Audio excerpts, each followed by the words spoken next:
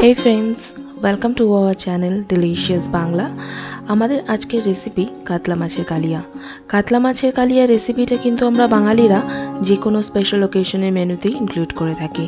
কারণ সাদা ভাত হোক বা পোলাও, দুইয়ের সঙ্গেই কিন্তু এই ডিশ অসাধারণ।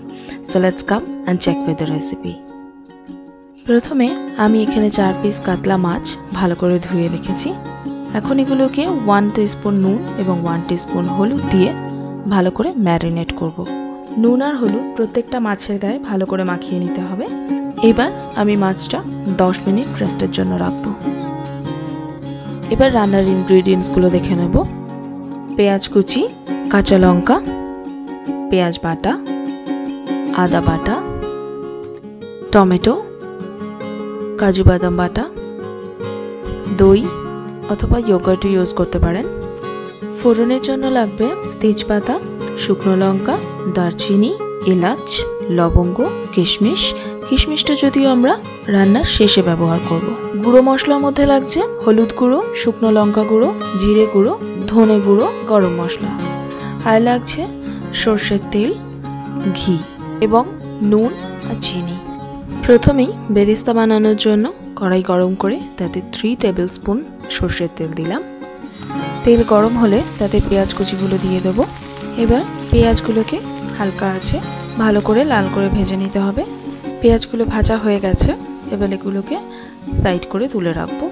দেখুন, সুন্দর লাল ভাজা হয়েছে। সেই একই তেলে ম্যারিনেট করে রাখা মাছগুলোকে একে একে ভেজে নেব। মাছের একটা সাইড ভাজা হয়ে গেছে। এবার আমি মাছটাকে উল্টে তার অন্য সাইডটাও ভেজে নেব। খেয়াল রাখতে হবে, মাছ যেন ওভার ফ্রাই না হয়ে যায়। আমার মাছ ভাজা হয়ে গেছে, এই মাছগুলো তুলে নেব। আর একইভাবে বাকি মাছগুলো ভেজে নেব।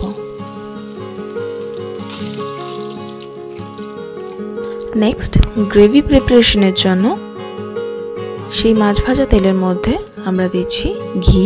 ঘি গরম হয়ে মেল্ট হয়ে গেলে মধ্যে একে একে ফোড়নগুলো দিয়ে দেব। দিয়ে দিচ্ছি দারচিনি, এলাচ, লবঙ্গ, তেজপাতা, শুকনো লঙ্কা, হালকা ফ্রাই করে নেব। এবার এর মধ্যে দিয়ে দেব পেঁয়াজ বাটা। দেন আদা বাটা দিয়ে হালকা ফ্রাই করব।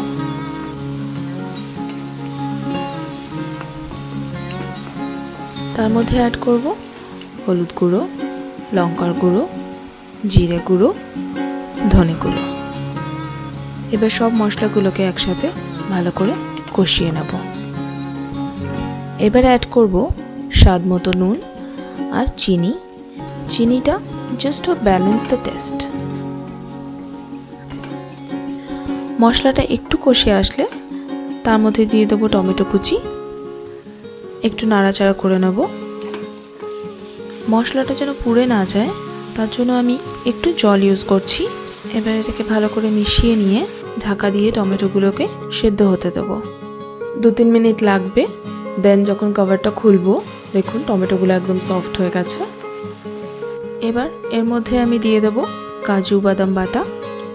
মশলাটা কষাতে থাকতে হবে, কারণ গ্রেভি যত ভালো কষবে, মাছের টেস্টও কিন্তু তত ভালো হবে।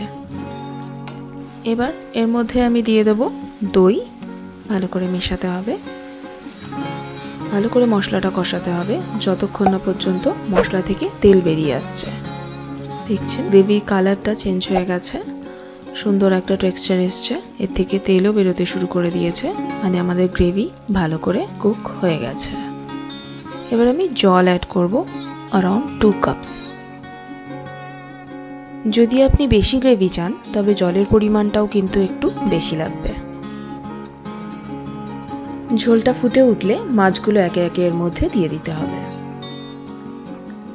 মাছগুলোকে ভালো করে ফুটতে দিতে হবে যাতে গ্রেভির যে টেস্টটা সেটা মাছের মধ্যে ভালো করে ঢুকে যায়। এবার আমি দিচ্ছি কাঁচা লঙ্কা, পেরেস্তা, যেটা আমি আগে ফ্রাই করে রেখেছিলাম। আর দিয়ে দেব কিশমিশ। এবার একটু নেড়ে নিয়ে গ্রেভিটাকে দশ মিনিটের জন্য ফুটতে দেব। আফটার টেন মিনিটস গ্রেভিটা অনেকটাই ঠিক হয়ে এসছে। এবার আমি মাছগুলোকে উল্টে দেবো, আরও কিছুক্ষণ ফুটতে দেবো। গ্রেভিটা আপনি ততটাই রাখবেন যতটা আপনি প্রেফার করবেন। আমার রান্না অলমোস্ট রেডি সব শেষে দিয়ে দেব গরম মশলা। ভালো করে মিশিয়ে নিয়ে এবার কিছুক্ষণ আমি এটা রেস্টের জন্য রাখব। কাতলা মাছের কালিয়া সার্ভ করবার জন্য এখন একদম রেডি আপনিও বাড়িতে বানিয়ে ফেলুন। আশা করি আপনার ফ্যামিলির সবার এই রেসিপিটা ভালো লাগবে। ভিডিওটা ভালো লাগলে লাইক আর শেয়ার করার জন্য রিকোয়েস্ট করছি। আরও নতুন নতুন রেসিপির ভিডিও দেখার জন্য সাবস্ক্রাইব করুন আমাদের চ্যানেল অবশ্যই বেলাইকেনে প্রেস করুন। আমাদের সব রকম আপডেট সবার আগে পাওয়ার জন্য। Thank you